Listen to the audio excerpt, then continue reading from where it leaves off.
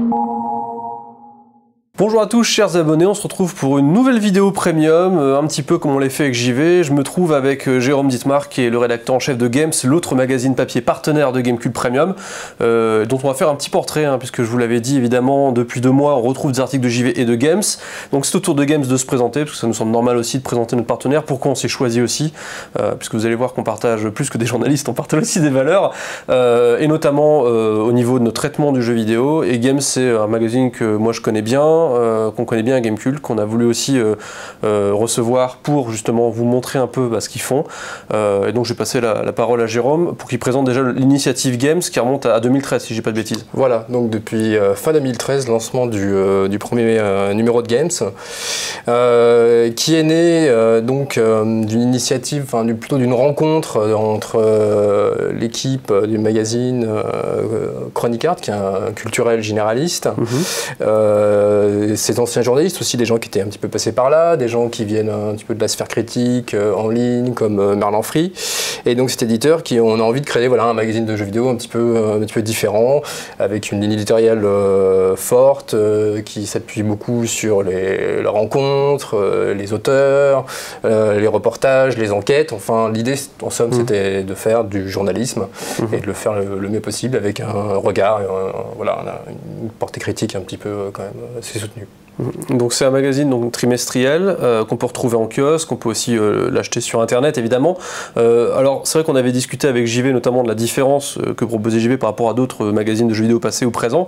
dans le cas de Games par exemple tu disais une approche originale, ça va se concrétiser comment? C'est mhm. plus de rencontres avec les développeurs j'imagine, ce genre de choses? alors c'est tout de suite un peu l'accent sur lequel on a voulu, mettre. Mhm. Donc le premier numéro d'ailleurs était un petit peu, c'était un petit peu le, festival de rencontres, on, on s'était un peu moqué de nous. Beaucoup d'interviews Beaucoup interviews, peut-être sans doute un peu trop.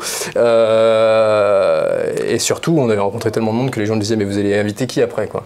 Mais on a voilà, on a, c'était un premier numéro, donc on avait voulu quelque chose un petit peu spectaculaire. Donc voilà, on avait réussi à avoir euh, Fumito Ueda, Jonathan Blow, Genova, Chen, aussi, aussi mm. bien des gens qui viennent de l'indé que, que, que, du triple A, ouais. Aonuma, des choses comme ça. Et euh, après, on a gardé quand même cette ligne éditoriale parce que pour nous, elle est importante. Euh, discuter avec les créateurs, que ce soit, mais pas seulement d'ailleurs que les game designers, on, s'intéresse aussi aussi bien mmh. à des gens, euh, à des level designers, enfin à tous les postes possibles du jeu vidéo. C'est pour nous une, manière voilà, de parler de la, création en soi mmh. et donc de mieux comprendre comment sont faits les jeux, euh, de, de, de, de, mieux les décrypter et de répondre voilà, à la aussi à la passion, à la passion des joueurs tout simplement, mhm. pour qu'ils aient un autre point de vue et de mieux les faire comprendre euh, quels sont les mécanismes, quelles sont les idées, les intentions, les références, etc.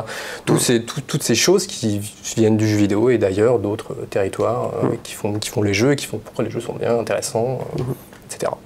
Alors, il me semble qu'au euh, moment où on tourne cette vidéo dans le cadre de, l'offre premium, on a déjà publié euh, au moins trois articles en provenance du magazine Games. Euh, il y a notamment un reportage chez ce qu'on appelait les rétrocycleurs au Japon. c'est quoi un rétrocycleur?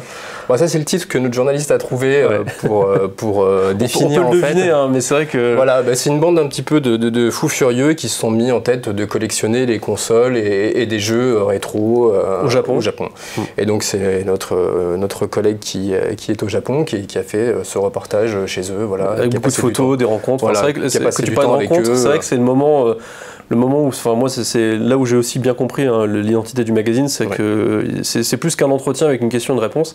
on sentait vraiment qu'il est en immersion aussi avec ses, avec ses japonais. Bah, on, a, c'est vrai que bon après des fois ça marche, des fois ça marche pas, mais on, avait envie d'avoir ce, ce, côté vivant aussi. Hmm. parce que on avait euh, une des intentions de départ, c'était d'avoir ce côté un petit peu pop euh, qui vient aussi de, d'autres traditions de, de, la presse, euh, musique, cinéma. Voilà, hmm. on rencontre les gens, on va, on va chez eux, enfin on le fait le maximum. Alors évidemment on peut pas tout le temps faire parce qu'on n'a pas non plus le luxe d'avoir des billets d'avion et des possibilités. Puis le jeu vidéo est un système aussi très fermé qui fait qu'on c'est pas toujours, il faut se battre des fois pour obtenir des choses. C'est très compliqué. Euh, oui, il y a des, bah, oui, évidemment, il y a des, même des fois où c'est quasiment impossible.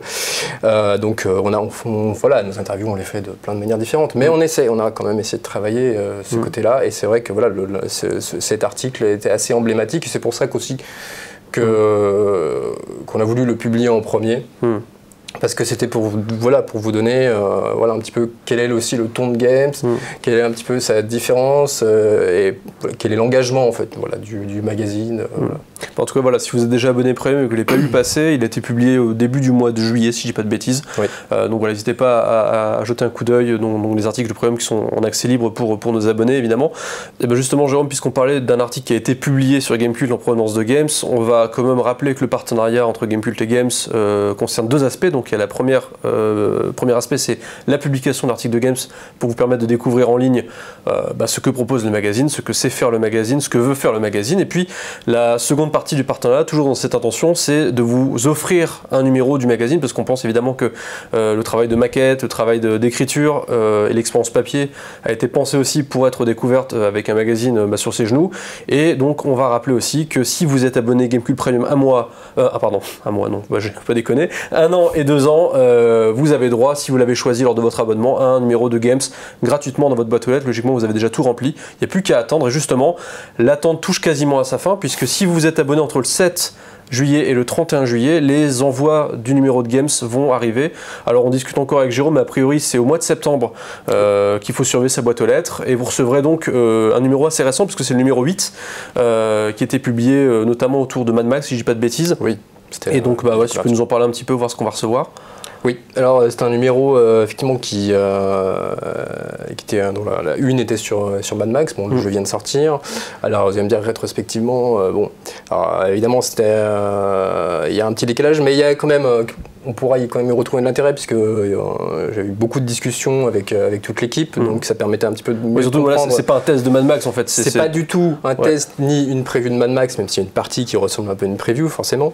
Euh, mais c'est plus une tentative de comprendre un petit peu toutes les intentions de, mm. des développeurs. Tu avais pu les rencontrer les développeurs Oui, oui, toute l'équipe et voir vers surtout j'avais essayé de pousser pour essayer de voir comprendre comment quel, par rapport au film, de quoi il s'était inspiré euh, euh, enfin, les films passés, le nouveau film qui n'était pas, encore, mm. pas encore sorti. Voilà, voir un petit peu euh, tout, toutes, les, toutes, les, toutes les choses dont ils avaient pu s'inspirer, comment ils avaient construit cet univers, quelles questions ils s'étaient posées sur l'open mm. world, puisque quand même le problème de Mad Max a priori c'est comment faire un open world dans le désert, donc comment faire vivre le désert, et donc c'était des questions qui étaient assez... Mm intéressante. Hmm. Donc, donc on avait un petit peu discuté. Donc maintenant on peut en juger euh, par rapport au jeu. Et bah, surtout voilà, c'est vrai que c'est l'avantage de ce papier, c'est que euh, c'est pas parce qu'on a joué au jeu que le papier n'a plus d'intérêt, au contraire. Voilà. C'est presque la, la, plupart, c'est vrai que encore plus euh, maintenant, ça a évolué un petit peu au, fil de, au fil de notre formule, mais c'est vrai qu'on a tout de suite quand même voulu se détacher un petit peu de l'actualité. Donc Games mm. n'a jamais été un magazine d'actualité. On a jonglé un petit peu avec l'actualité mm. euh, pour profiter de certains sujets parce que ça nous intéressait, parce qu'on se disait qu'il y avait des, gens rencontrés ou des choses à raconter qui étaient, qui étaient intéressantes.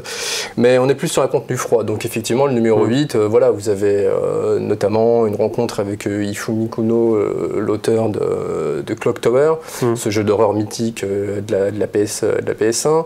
On a une rencontre avec Sean Van Haman. Sean Van Euh, peut-être que vous ne connaissez pas son nom, mais c'est le The Walking Dead de, Telltale mm. a été essentiellement écrit et pensé par lui, mm-hmm. euh, puisque c'était lui qui était à l'origine du projet, enfin c'était une des deux personnes qui était à l'origine du projet, donc il nous reparle du jeu, il revient un petit peu sur le jeu, ce qu'il n'avait pas fait et ce qu'il avait quasiment jamais fait. Mm-hmm. Euh, il nous parle aussi de son prochain jeu, donc Firewatch, mm-hmm. qui vous avez peut-être vu déjà des, images, des previews, des choses comme ça. Mm. on a une rencontre aussi avec un, un, indé espagnol assez barré qui fait des jeux d'arcade assez stimulants, Loco Malito. Euh, qu'est-ce qu'on a encore Une rencontre avec aussi euh, Jack McCauley. Jack McCauley, euh, ça rebondira d'ailleurs un petit peu sur, le, sur la une de notre nouveau numéro, le numéro 9, qui est un petit peu un homme de l'ombre derrière Oculus Rift.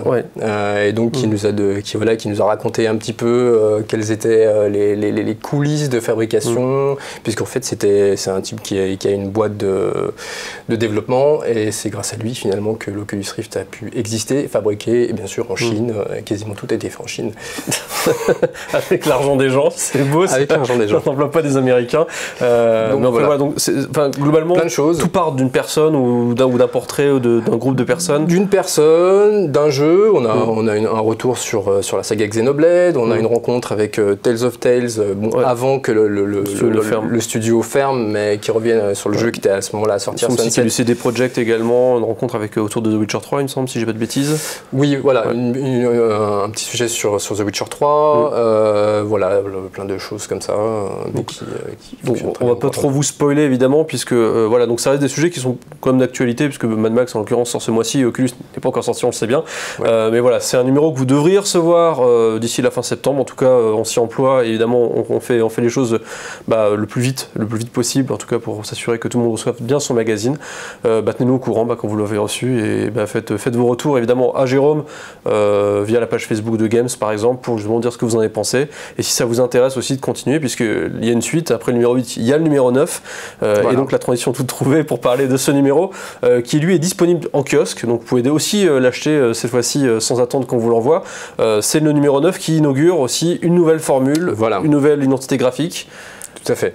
On a, on a un peu tout changé. Donc, ce qui explique aussi pourquoi euh, c'est euh, un peu compliqué. De, on aurait bien aimé vous envoyer ce numéro, de nouveau numéro, bien entendu. On aurait aimé vous le faire découvrir.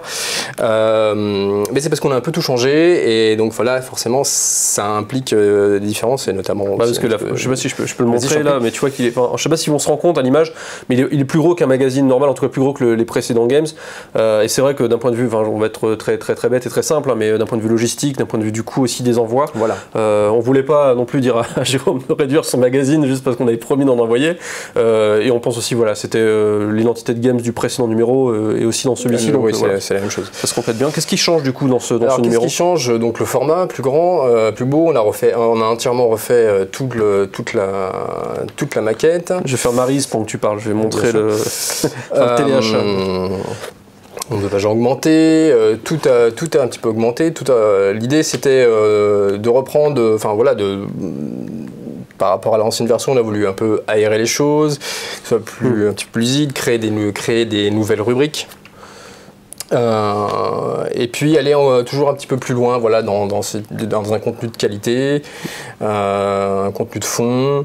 Euh, toujours beaucoup de, voilà, de, rencontres. Donc voilà, c'est un numéro dans lequel vous pourrez lire notamment donc, euh, un retour et une rencontre avec l'auteur de, avec l'auteur de, de Nier. Donc l'auteur est dans Yoko Taro. Une rencontre aussi, un interview assez passionnant avec euh, Sam Barlow. Hum dont Sam Barlow peut-être que vous avez joué récemment à Her Story mm. et qui, a été, qui, a été, qui avait travaillé aussi au, Silent Hill euh, sur Wii. Mm-hmm. Donc il revient un petit peu sur, sur, sur les Silent Hill et puis, euh, et puis donc sur, sur, son, sur son nouveau jeu. Euh, également donc un, aussi un, un, retour sur le shoot'em up indé. Oui. Voilà. Mhm. Euh, J'ai vu un portrait d'un animateur de, de, Metal Gear Rising oui, qui, était, euh, qui, était, qui était, avait été débauché par Quantic Dream euh, justement pour travailler un petit peu l'animation des personnages. Voilà, interview assez passionnant. voilà, il travaillait chez, effectivement chez Kojima avant et maintenant, il, est, mhm. chez Quantic Dream. Et puis bien sûr donc la une sur la réalité virtuelle où là on, donc on a notre idée c'était de mener une enquête pour essayer de comprendre un petit peu voilà mmh pourquoi chez les Indés il y avait un tel engouement. Donc on, discute avec, avec des, euh, autant avec des gens qui, euh, qui, ont, qui travaillent euh, dans l'industrie, des universitaires, puisque la réalité virtuelle est quelque chose qui, euh, donc, point de départ, est quasi, enfin, bah, le, Palmer Lucky, ses, ses, sources d'inspiration viennent des bancs de l'USC, mm. la mm. fac de Californie. Mm. tous ces, si le projet est né, c'est grâce notamment à quelqu'un qui s'appelle Marc Bolas, qu'on a un peu interviewé dans, dans, ce numéro, qui est un grand théoricien et enfin concepteur chercheurs, euh, tout simplement euh, autour de la réalité virtuelle. Euh, donc voilà, notre, question c'était, ben, alors en quoi c'est une révolution? Quelles sont les limites? Pourquoi, pourquoi ça se développe pas plus vite? Pourquoi ça marche pas? On, a hmm. discuté avec des game designers français, étrangers, et puis philosophes aussi pour savoir un petit peu, bah, tiens, mais qu'est-ce que finalement, qu'est-ce que, qu'est-ce, que ça, qu'est-ce que ça vous raconte pour vous, cette idée de partir hmm. dans d'autres univers, comme ça?